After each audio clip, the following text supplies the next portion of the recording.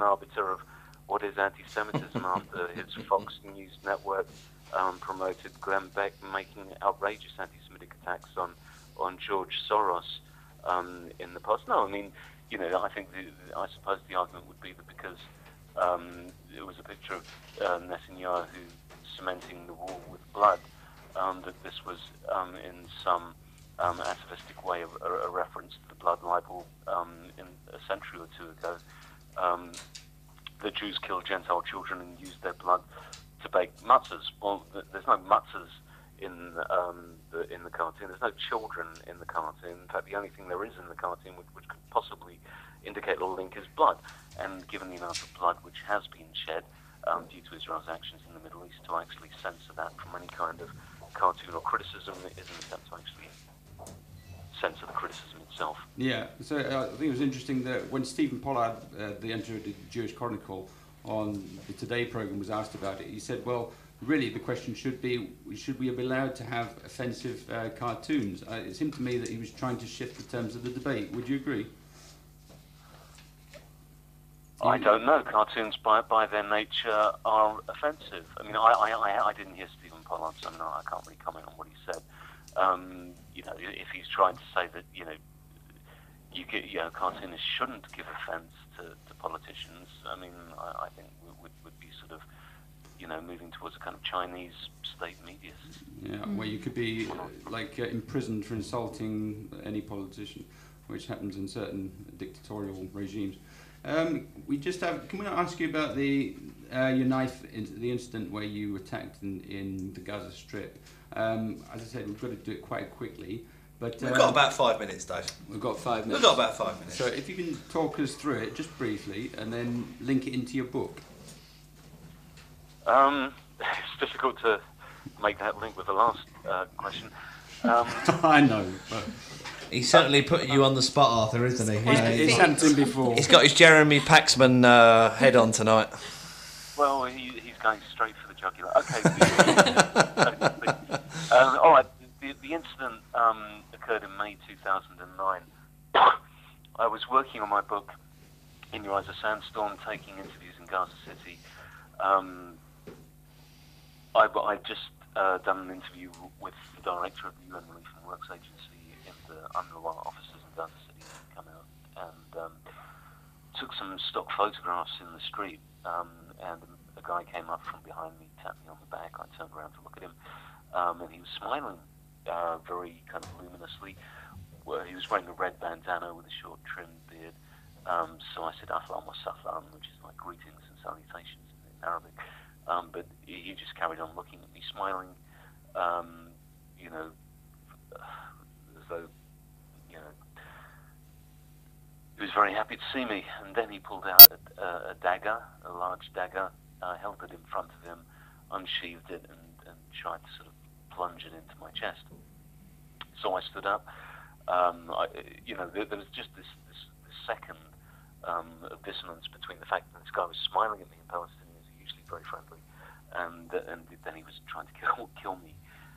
And um, it, it just took a second. I just spun on my heels and ran as fast as I could. Um, and the guy was chasing after me down the street. The, the walls were very high and I couldn't uh, jump over them, and I was crying out for help, but nobody. Um, it was like a bad dream. Everyone was just hitting the walls, getting out of the way, and not wanting to get involved. You know, obviously people don't know what's going on, or what you know, could be resistance, could be who knows what. Anyway, it's a dangerous situation. Um, I got about 10 yards on the guy first of all, but he was younger than me, faster than me, he was catching up. Ran for about 200 yards, and I was getting out of breath um, I got to a junction in the road, so, so I just stopped and started shouting um, that you know there were a few buildings around for anyone to help. Um, and at that point, uh, Hamas, uh, it was out. I was, I was very lucky. It was, I, there was a Hamas security compound, and the doors opened. One of the uh, officers beckoned me inside. The, a policeman. The Hamas cops ran out yeah. and started firing shots in the air, and, and the guy was overpowered and arrested. And, uh, and you wanted to talk to him to find out why he was like this, why he'd been trying, why I, he tried to attack. Through, through, through a human rights group in Gaza, I located the guy. I, I made inquiries. I found out something about his story, and so then I went back to interview him for the Guardian because the story said a lot about the Palestinian experience and about the way that terrorism is misinterpreted or actor uh, described as terrorism, which aren't necessarily, certainly in terms of the way that they're viewed by the people carrying them out. Um, in, in this particular instance, shortly prior to his attacking me, um, the, the person involved, who I call Khalid, um, had had been arrested. Well, arrested, had been captured by the Israeli army during the invasion of Gaza in January 2009. He, had, he suffered from schizophrenia and, and he'd gone to the front line to, ask the, to tell the Israeli soldiers to stop killing so many civilians. Um, they, they captured him, uh, beat him, took him to the, the uh, a house they'd occupied, uh, put him in the doorway, saw the soldiers going in, could um, kick him or hit him with their rifle butts as they're going in and out, um, blindfolded him, handcuffed him, um, spat on him, urinated on him, took, took him up to the top window and then put him in the window. Um, they were sniping from. Uh, Using him as a shield, as a human shield sort of thing. effectively, he was, he was he's, he says he was being used as a human shield. Um, then he went through a two-month period um, of detention, interrogations, questioning, tortures, beatings, humiliations, um, which was very disorientating for him. He was he was hooded and blindfolded and. And and finally, um, a couple of months before I encountered him, he was taken back. He was back into Gaza. And uh, you know, if he if he hadn't been suffering from paranoid delusions beforehand, you know, I think the, the treatment he, he says he suffered would have been uh, more than sufficient to induce that anyway. Just we have to finish off a minute, um, Yep. Art. um, but just very quickly, if you can tell us what the title of your book is. Um, I think Liam mentioned it, and uh, who publishes it. Yeah, the book is In Your Eyes a Sandstorm, which is published by University of California Press. A lot of the themes of uh, trauma, trauma, land, and resistance, which are common to that story, are repeated in many of the interviews I've done with a very wide range of um, Palestinians of all age groups, beginning with two children in the Jenin refugee camp, one of whom wants to be a shahid, um, a martyr, the other one dreams of a Palestine with no Jews. Um, it talks about their traumatic experiences, and then through interviews with a very wide range of people uh, models, policemen, drug dealers, taxi drivers, um, even Quite a broad range of society. But, yeah, it goes back in time through the through the generations. Yeah, yeah. two Palestinians uh, from the villages the two children were named after from the 1936 generation to tell the story of how that trauma came about.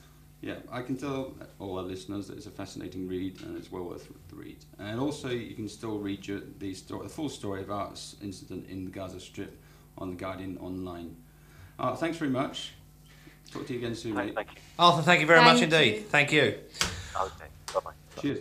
Right, uh, that was Arthur Neslen, former columnist of The Guardian and Al Jazeera. Um, if you've got any thoughts about what he was saying, uh, please do feel free to text us in on 07950 372580 and the tweets uh, at It Street Life. And we've also got a Facebook page where you can leave any comments. It's www.facebook.com forward slash Street Life Radio. Okay, and now to our first break, and we've got our first song, which I chose, um, and it's Alicia Keys Really? with, with Brand New Me.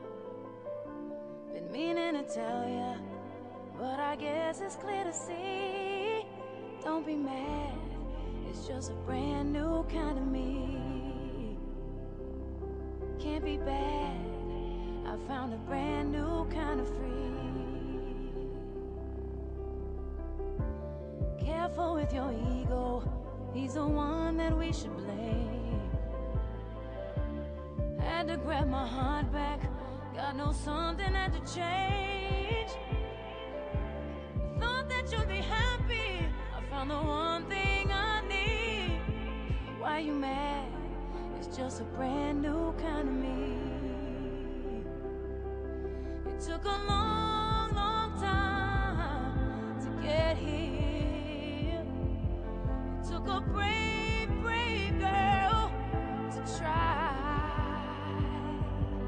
It took one too many excuses, one too many lies. Don't be surprised. Don't be surprised if I talk a little louder, if I speak up when you're wrong. If I walk a little taller,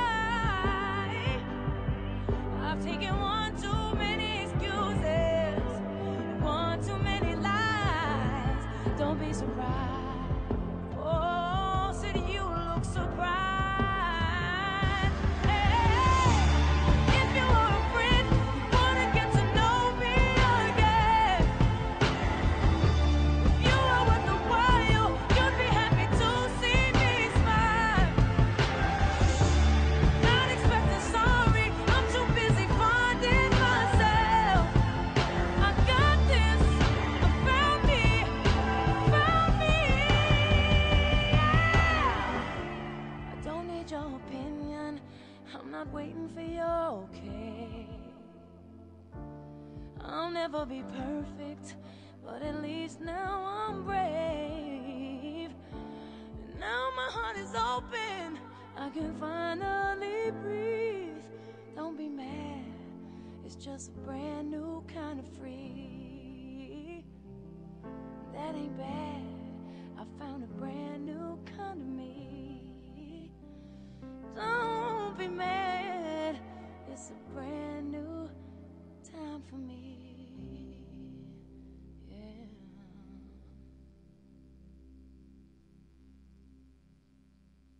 What's happening? This is your R&B ambassador, Trevor Nelson, 25 years deep in the game. Street Life Radio.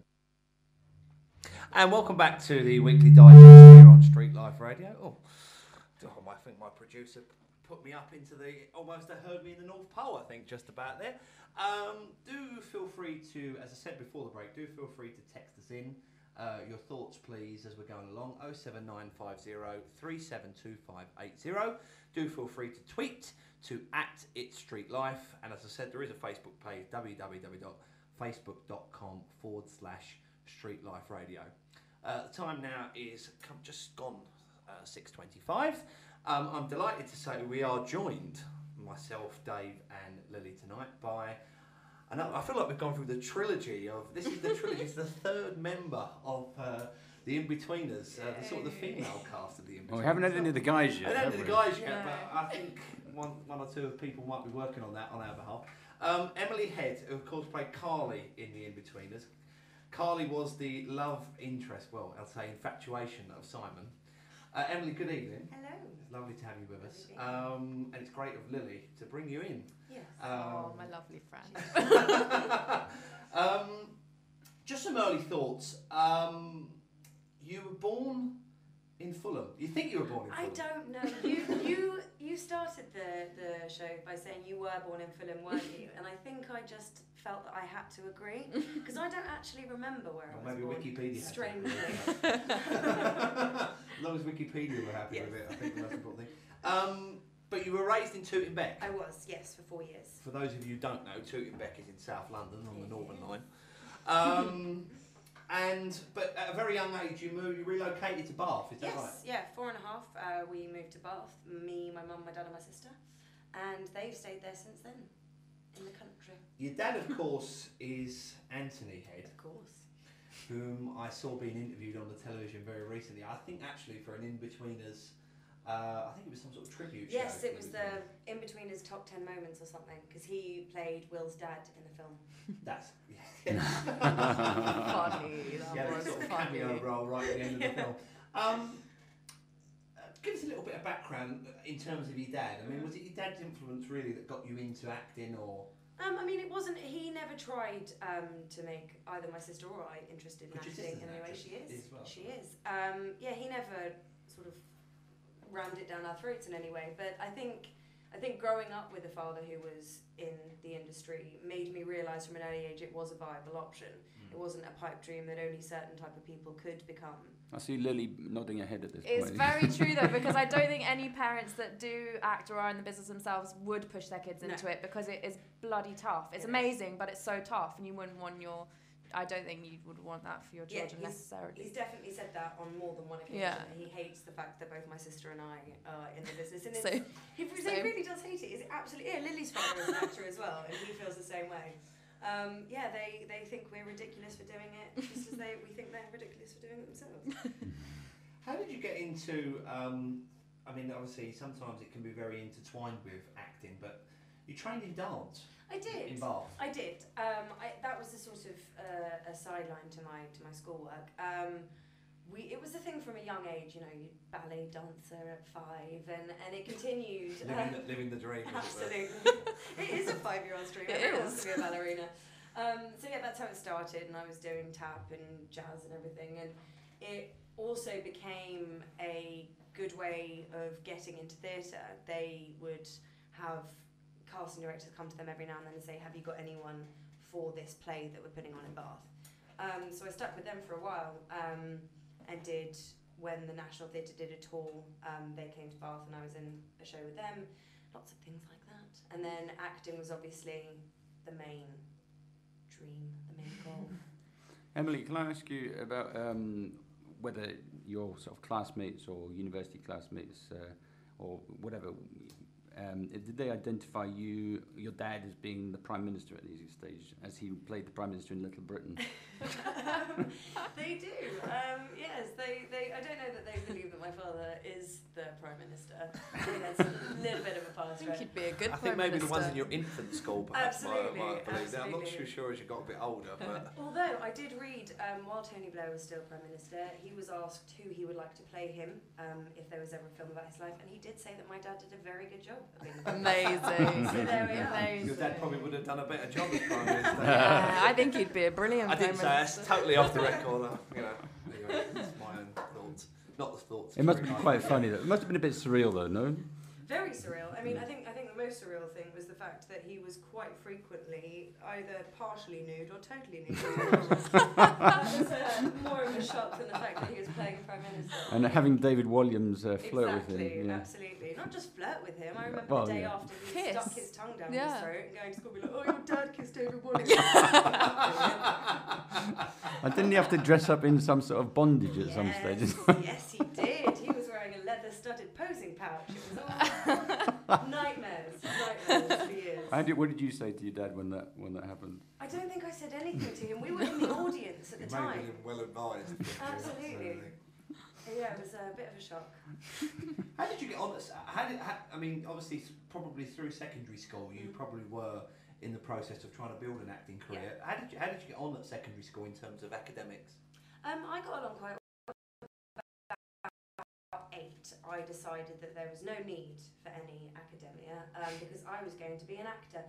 and uh, my mum pointed out that no, she she never said at any point you need something to fall back on. But what she did say was if you do want to go to drama school and you don't have very good grades, say that there's two people. There's you and someone who's exactly like you, looks like you, is just as talented as you in acting, and they have straight A's. Who do you think that they're going to believe is going to work harder? So I was like, oh yeah, you're right actually. So I did. I worked. I worked very hard. Um, got mainly A's, a couple of B's thrown in there at the end at GCSEs. You did pretty, Um, well, you did pretty well. Thank you. Thank you so much. One or two of us Sitting around the table.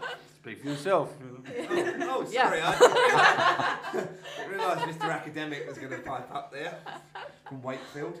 Um, sorry, sorry. Please continue. No, not at all. And then um, I went to a performing arts college. Um, so didn't take A levels. I did a BTEC instead in acting, in theatre studies. Was that in performing arts? Was it? Was it? Well, it was. It was a. It's a performing arts college. It's Brit School, um, and there are different strands of performing arts. There's media as well, and dance and music.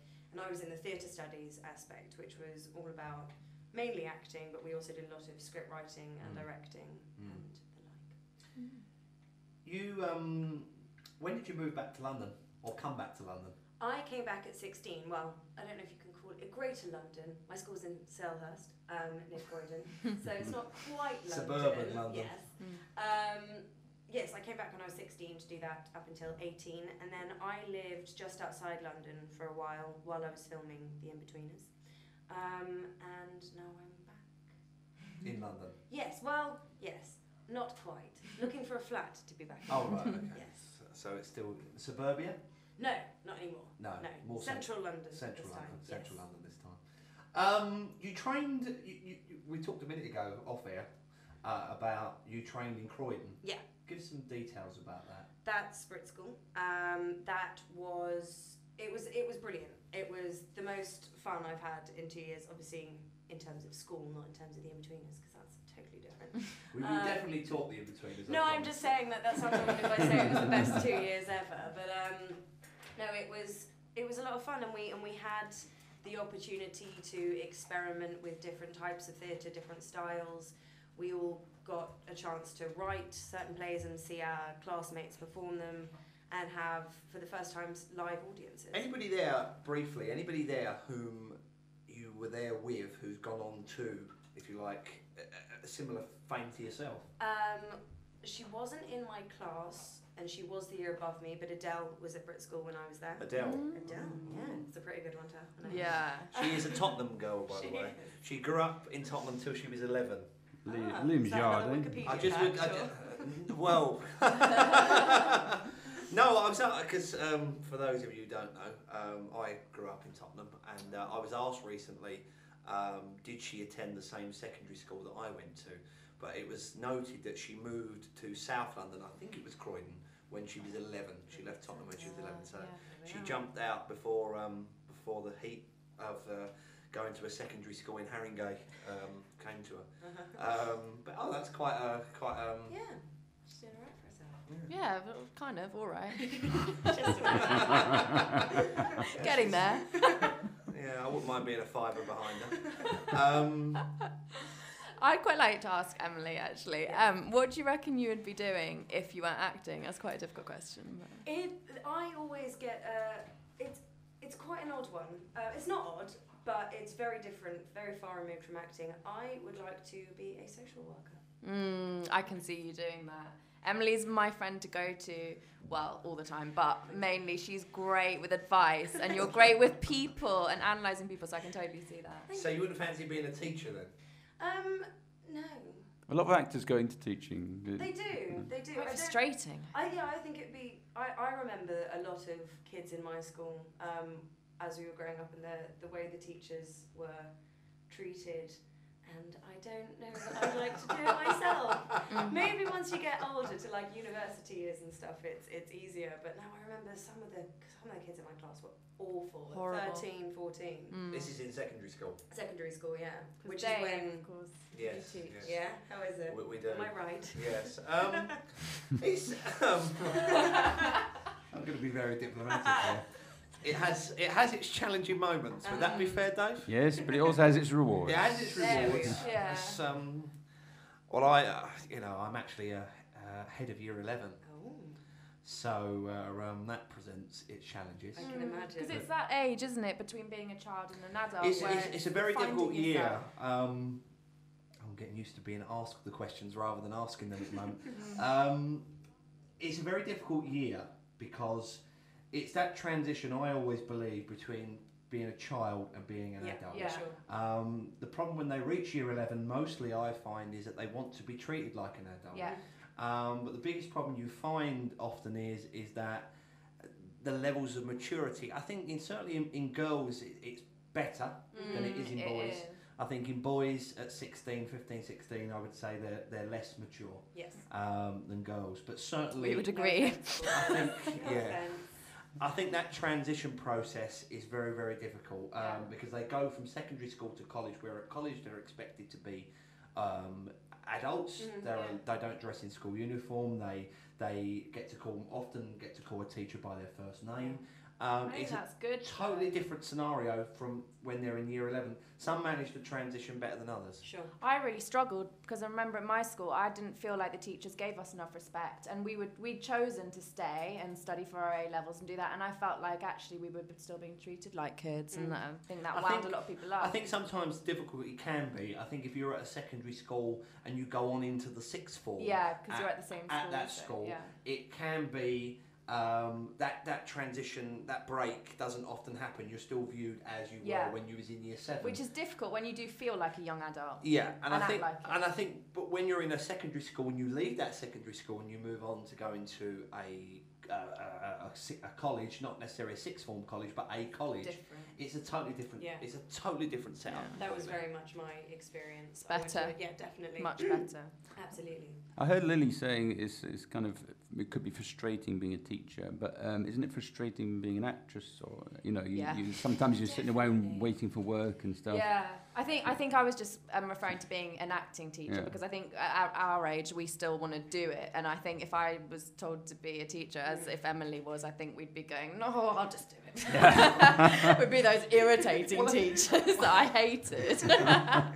um, but but I, acting is I think it's one of the most frustrating businesses. I think when you get the bug for it, you can't help but try and do it, and especially when you're young, you kind of throw caution to the wind and go, do you know what? I'll try it, give it my best shot, and see what happens. But it's very frustrating. I think it's very interesting you say that. I had an interesting meeting on Monday with um, Martin Tyler, who is uh, who is the senior football commentator at Sky Sports, and his son, who's I think he said he's in mid twenties, uh, is a filmmaker, and I think he, he's, he's done all the qualifications, done all the training. I think he's had one day's work Yeah. in six months. that is what it's like. and that is, I think, the challenge for anybody going into the acting Yeah, profession, or even Or the bits any at around the it, moment, production, Yeah, any anything, media is, is, is, is, the work is very difficult Yeah. to get. I mean, even I've got friends that have just graduated from uni and they're finding it hard to get a bar job just to pay their bills. Mm. And I think at the moment it's just so difficult. So, uh, I mean, creative work has always been hard. So now more than ever, I mean, work is few and far between and it's tough. But But the thing is, when it does, when it does go your way and it does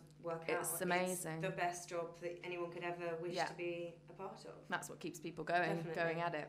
Emily, would you say you prefer the, the screen acting to uh, stage acting? Uh, Do you have a Um, preference? I don't have a preference. I love both of them for what they are. They are both totally different, and you get totally different um, feedback from the scenes you're doing, whether it's from the director when you're in television, or if you get the live reaction from the audience is, is totally thrilling. And it's a, it's a different strain of acting, really. I mean, that's not to suggest that a theatre actor can't be a television actor, um, but it's it's very different. You have to do a lot more Hmm. on theatre, uh, on the stage rather, than you have to do in television. Like in television, a little twitch of the eye is read, and in theatre, it's not. And it's Mm. it's it's a fascinating challenge, and Mm. I, I love both of them very much. Do you agree, Lily?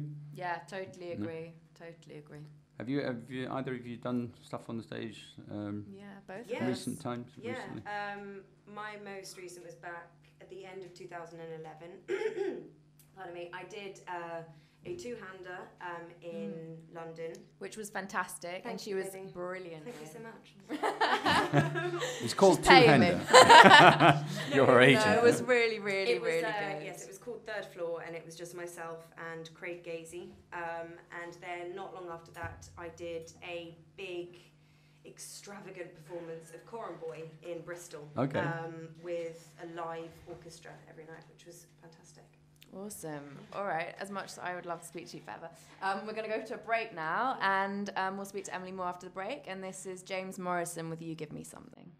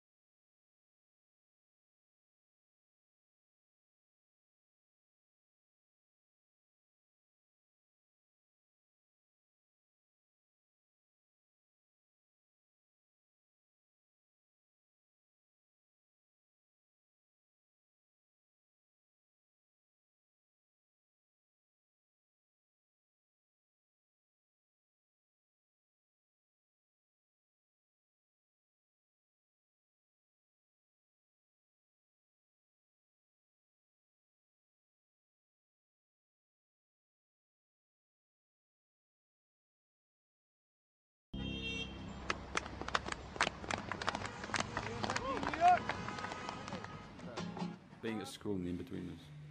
We will. Mm. And welcome back to the weekly digest here on Streetlife Radio. We've been having a very entertaining conversation during that song um, about the rights and wrongs in school. Um, it brings us, uh, actually, before we go any further, I must do this. Uh, text us on 07950 372580. Uh, do feel free to tweet us to at It Street Life. Uh, Lily has got a mobile phone now, so do feel free to tweet her Tweet me. yeah, at Lily Lovett. Um, if you want to tweet me as well, um, I'm not going to be as popular as her, I don't think, but, but do feel free to. I don't think so. no, we Um, won't. Do feel free to tweet me to at Davis Liam, and Dave's is really complicated, so I'm just going to leave that. Um, Thanks for that. Dave's is really complicated. so- Dave at cat. Dave C A A T. Yeah, it, two C's, two A's. Sorry. There. David at cat. David at cat. C A A T. That's it. At David at cat. That's it. Um, time is 6.45. We've got another 15 minutes in the delightful company of Emily Head, who of course played Carly in The Inbetweeners. Um, just before we come to The Inbetweeners, um, y- your early television roles, what were they like? Uh, my first television role was Trial and Retribution. Um, I was with my sister and we played the daughters of a mass murderer. Um, that was my first foray. into Surreal again. what a foray into the world Yes, of television absolutely. broadcasting. Um, yeah, that was that was quite fun actually. I think I was twelve or something. Um, Wow. And then at 17, I did a guest episode, again with my sister, although this time not playing sisters, of um, Doc Martin. Uh, That was an ITV that was an ITV series, yeah. drama, Mm. comedy drama, yes. Martin Clunes. Exactly. Yeah. Um, I played a um, receptionist who got ill and threw up. Um, not on camera, but there was a whole thing about me throwing up afterwards. It was fascinating. Was he a lot of fun to work with, he Martin was Clunes? so much fun. He was the loveliest person to, to have your first sort of television job with. Um, he was very nice to both my sister and I, and yeah, was. Is he, just is he quite like he is in the Reginald Perrin, Reginald Perrin series? Um, He's kind of every man, the sort of bloke you could talk to, and you kind of feel sorry for if he if he falls on his luck. Yeah, I mean, Mm. I think he's more. I, I've not really watched much of much of that show, but I think he's more confident, perhaps, than his character is. Um, but yeah, he's he's also massively into into dogs, which my mother um, bonded with him over. Um, my mum is an animal behaviourist, um, Mm, so they're still in contact. Actually, um, my parents went to see Martin not too long ago. Yeah, he was a very nice man. And then Well, I won't ask if he was like his. Uh, was it Gary he played in in Men Behaving Badly? Because I'm sure he's like- not. Absolutely nothing like it, no. Um, yeah, and then I think pretty soon after that, Inbetweeners came along. Yes, it certainly did. did. Um, you were there from the beginning. I weren't you? was, very much so. How did it come about? I just, I auditioned for it. I, it was at the end of um, my school years. Um, I was just about to leave Brit School, and my agent called me and said, "We've got this audition. It's for something called Baggy Trousers. Um, go in and." That was the a read." original was- working yes, title, it was. wasn't it? Yeah, absolutely. Um, Working title, see, I'm getting used to your Done his homework. Getting used to your terminology. Um, and uh, I think actually I, I originally auditioned for Charlotte. I think they were the only girls scenes that they had. Um, most people I knew that were auditioning for it were auditioning for Charlotte. Um, and then the sides for Carly came through and I read them and I think I had something ridiculous like seven auditions to get to the final stage. Wow. Um, and uh, yeah, Very just kept competitive. traveling and traveling up to see the same people and do similar scenes. And every time they were always lovely. And Ian and Damon, the writers, were always in the room from the from the second audition onwards, I think. Um, and yeah, then I, I the last audition I had was in a room full of people all auditioning for the same parts. They were matching people with other people and. John Seward, who played Big John, was there, and Emily Atack, who played Charlotte, was there and um, I was the only one there auditioning for Carly. So I left thinking maybe that's a good thing, maybe it's not, maybe they already know who they're casting, and I was just in to read with other people. but uh, I got the call on the train home, and yeah, the rest is history. That's very well put. Thank you. Um, So how did, how did it feel then, being, um, if you like, Simon's love interest and sort of having your name spray painted across the drive in the very, I think yeah, it was in the first series. That was yeah, that was the name being two. Spray painted across the drive in Yeah. big large letters. Yes. I love Carly D'Amato. Yes. What was that? That must have been quite, you know, funny. That must have been very funny to, you know, act those scenes out. It was. It was. Um, it was. It was brilliant. My first day actually was um, the throwing up over my brother scene. it was quite an interesting, uh, interesting project to walk in on, having that um, as my first experience with everyone. Um, yeah, that was. It was. It was a brilliant part, and with a brilliant cast, and I absolutely adore all of them. Um, but it was. Yeah, it was interesting playing the love interest of What such a. What's Simon's name, the actor? Uh, Joe. Thomas. Joe Joe- Thomas. Joe That's Thom- awful. I'm sorry, Joe's friends, anyone who's listening. Do you, do Thank you feel a, s- a kind of bond with Joe, having Um, played? I feel I feel a bond with all of them. I think. Um, I'd say actually I'm closest out of the four boys. I'm closest to Blake Harrison, who plays Neil. Um, I don't know why. I think we just have a very similar sense, Sense of of humour. humour. Yeah. And is your sense of humour? Well, I say you had a sense of humour in the program. Is it similar to how he was in the program, or Oh no, the- that a would total be opposite? so insulting to say that. so insulting. No, he's he's very intelligent actually, and um, I should hope he's a bit more intelligent than that. I don't think he managed to make it to set if he was anything like Neil, really. Um, no, he's, You'd be he's surprised, I think, with some Yeah? of uh, what goes on. I think in broadcasting today, but um, so obviously moving on from that, and of course the, the, the role developed, of course, and of course you. I think you starred in. I think every is it every episode? Not in every episode. No, Very I close was to. In I was in about half of every episode. Mm. Of the, the, I was in half the amount of the episodes, rather. I think by the Mm. end of it. Yeah, I think it was three episodes the first series, four in the second, and three in the last one. Could you, do you feel you could identify with uh, Carly at all? I do, I do. I mean, her her behaviour got gradually worse as the series went on. I, I started as quite a nice girl next door, um, quite sweet, you know, understanding of Simon's plight in a way, and just got more and more despicable. It was awful by the film. I mean, she was horrible, horrible. But I mean, I always stick up for her because I feel like I have to because no one else is. Um, she doesn't see the loving side of Simon that the audience does. She just sees him throw up over her brother and spray paint her driveway and do weird things like diving off a boat and things. She, yeah, he's he's mental. I must um, admit, I have all it in the film. I thought, you know, I don't blame you, darling, for, for dumping him. He's, he's exactly. Because the, the four four guys, they just act like such idiots. They do. I think it was interesting. You didn't follow Lily's character's advice. I think I think it was somewhere in series two where she's like, "I can't believe you're going round to that freak's house." Yeah. yes. they put that line in really last minute as well. Ian just came up to me and went, "Can you just say this at the end?" I was like, "Oh, that's so good." so the way teenage girls talk about boys. Absolutely. Sadly, Yes. Yes. It's, it's, you should have listened to me. I Em. should have listened. I, I can She only, does in real life. I do in real life. I do, but I can picture Carly and Rachel sat on her sofa and Rachel going, "What is wrong with you?" why did you give him your Why did you give him your BBM? exactly. exactly. Um, the film, I think Lily has spoken in depth. I mean, you know, uh, before when you spoke about the film, um, the film must have been a lot of fun to do. It was. It was. It was brilliant. I mean, none of us ever anticipated that we'd manage to get a film out of it. Especially, as I say, from the first series, baggy trousers. No one knew quite what it could become. Um, it was. It was an awful amount of fun. All of us in. I have to say, rather a horrible hotel. Um, I don't know if Lily has. Uh, I mentioned didn't it. No. The hotel, there aren't any nice hotels in Magaluf apparently. Um, so our hotel was eight euros fifty a night, and you could tell everything. uh, everything was tiled, and it seemed to be sort of white, clean surfaces, and none of the toilets had locks on any of the doors, Mm. presumably for people passing out. And you could hear everything through could all the walls. everything. And it was fine because we were in there out of season. But if you can imagine in the summer what's going on in some of the rooms, you would not want to hear. Absolutely, but we were all there and we were all in it together. And um, freezing though it was, we did have a brilliant time. It was a lot of fun. And of course, I mean, I don't know whether this is the, you're the right person to ask this, but you don't think there'll be any more.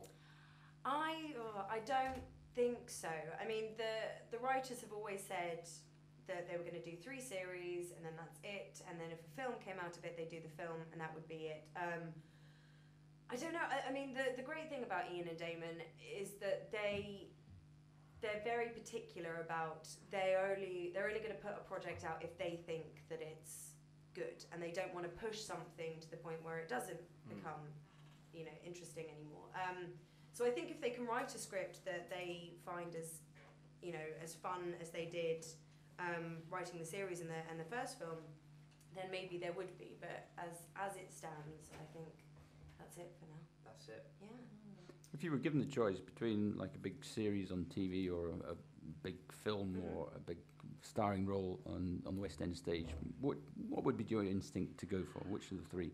I don't know that's really difficult I told you we had his actually. packs, man. Depends on the part. Yeah, it does. Yeah, you're right, Lily. Thank you. Um, it, it massively would depend on the part. I um, I think I just want to keep making things that I that excite me and, and fascinate me and that I can I can learn from. You're not particularly lured by Hollywood or anything. Um, I mean, I'm not not particularly, not in the sense of I want to be a star, but I definitely I'd like to keep working for as long as possible. And sometimes going to America is the only way of doing that. Um, they just happen to make more things out Mm. there. Um, there happen to be more projects and and you know more opportunities. Um, but yeah, it's certainly not about becoming a Hollywood movie star. Um, it's just about working for as long as I can. Mm. On that subject, what do you think of kind of kids um, going into things for fame and money? And I think now with Celebrity Big Brother, well, just normal Big Brother, and all of the reality TV Mhm. shows, I think I don't know. I think a lot of kids now grow up and go, I just want to be famous and rich. What do you think about all of that? And people getting into acting because of wanting to be a movie star. I mean, I think um, as long as they're not disillusioned by it, um, I think that it's it's it's an okay thing to do. And and the thing about people like that that only want to be a star, it doesn't happen that quickly Mm. for I'd say ninety eight percent of the people in the industry. So anyone who does want to try and become a star, um, perhaps it won't happen for them in the first six months, and they'll lose interest and do something that they're actually really fascinated. in. I mean, the, I think the only thing that is sad about it are the young, young girls, you know, six year olds who are dressing like the people they see on television and Mm. doing the Mm. dance moves they see in music videos, and Mm. they've lost a lot of their childhood in a way, Mm. and that I find, you know, quite quite upsetting, really. Mm. It is rather disturbing, but I think the media has an enormous influence in Oh, how sure. in how Yeah. obviously young people are portrayed, not Mm. just obviously in terms of acting, but obviously in terms of in general. Yeah. Um, I think the media has a heavy influence. Made in Um, Chelsea, only way as Essex. All of Big- them, Big wherever Brother. you're from, they're going to slag you Big off. Brother. Big Brother, of course. Yeah, Big Brother. Read my blog. Yes. I Give them the link quickly. I, I, I, I'm, just about to, I'm just about to try and find it actually. I, right, here it is. It's called Lily Lovett Loves. Um, Yeah. And if you type that into Google, then it should come up. Yeah, if you, uh, oh, let me read it, oh, the whole thing out. HTTP co dot forward slash twice Lily Lovett Loves dot WordPress dot com. Yeah, you can just put Lily Lovett Loves doesn't That need should- to be Yeah. Okay, and you just type in Lily Lovett Loves Loves. into Google. It'll come up. Um, it is a fantastic read because I've Oh, I've read you. I've read some of the blogs and uh, um, I think the one about the show was rather flattering. Oh, it's a little blog about Emily. Yeah, it was very She's my flattering friend. to me as well. It was Yeah. really lovely. It's probably the nicest thing I've ever read about me. Isn't that sweet? Lily, I'm going to leave the final question to you. Oh, okay. I wasn't quite prepared for that.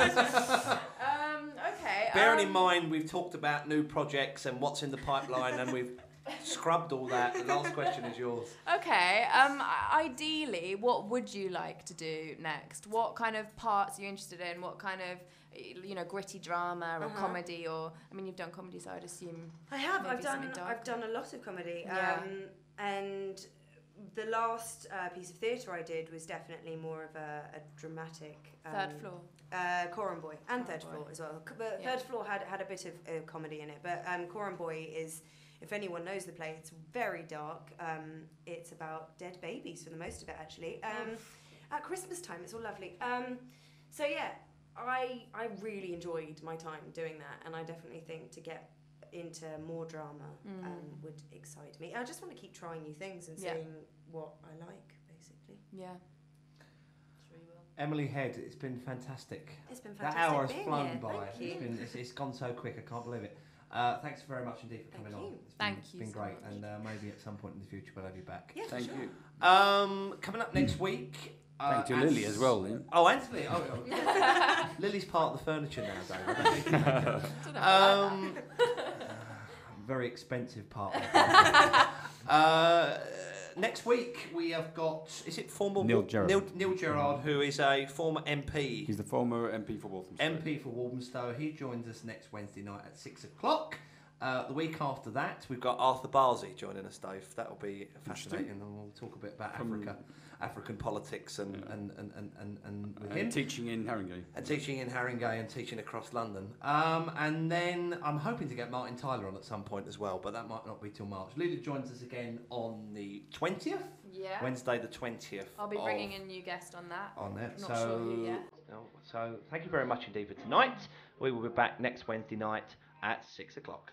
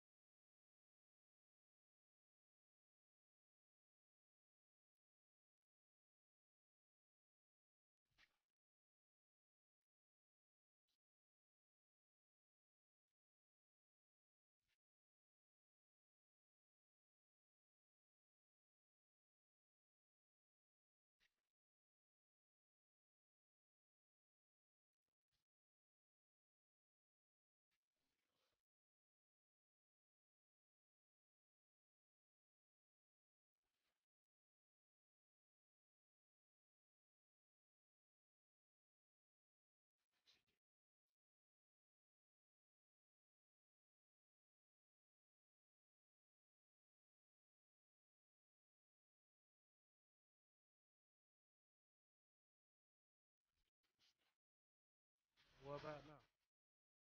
Check up there. Does it say your name?